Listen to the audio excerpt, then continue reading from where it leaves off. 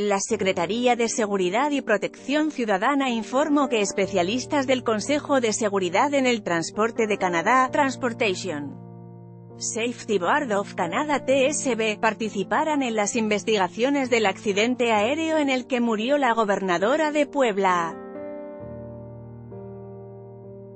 Marta Erika Alonso y su esposo, el senador Rafael Moreno Valle, refiere que la Dirección General de Aeronáutica Civil de la Secretaría de Comunicaciones y Transportes fue notificada del envío de dos especialistas y la acreditación de un tercero que se encuentra en México, para participar en la investigación del lamentable percance aéreo ocurrido el 24 de diciembre en Puebla.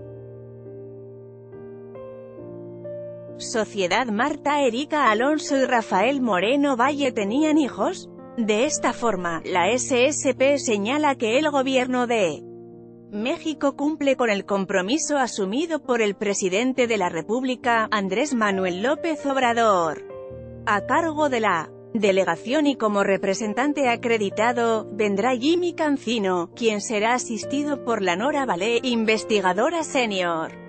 El TSB de Canadá también ha informado que asistirá como asesor técnico Iván Granciano, de Brad. Helicóptero caído, quien ya ha estado participando activamente en la investigación.